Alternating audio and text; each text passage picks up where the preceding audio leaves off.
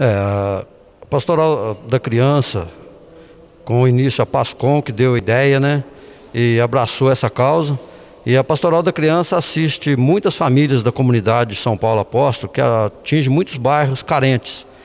Então, nessa pandemia, a paróquia e a Pastoral da Criança e o Pascom está arrecadando alimento para a gente ver o que a gente pode doar para as famílias da Pastoral da Criança e as famílias da comunidade que está necessitada nesse momento. Queria agradecer a comunidade São Paulo Apóstolo, né, que está colaborando com o PASCOM e com a Pastoral da Criança. E lembrando que durante a semana a Secretaria da Paróquia São Paulo está aberta das 9 às 11.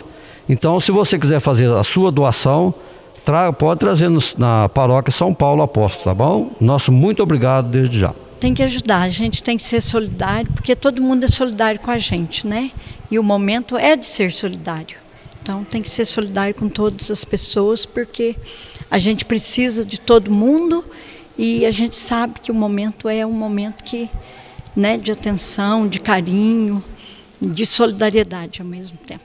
Olha, que a pessoa doe um sabonete mas também vai ter o valor do, daquela mesma pessoa que doa uma cesta básica. Nós estamos recebendo com os braços abertos e o coração aberto. Olhar, fazer o bem sem olhar a quem.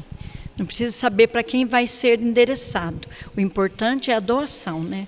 O importante é o nosso sentimento de solidariedade. É que Deus abençoe e dê em dobro, né? Para cada pessoa que está colaborando conosco. E lembrando, nós estamos aqui das 9 até as 17 horas.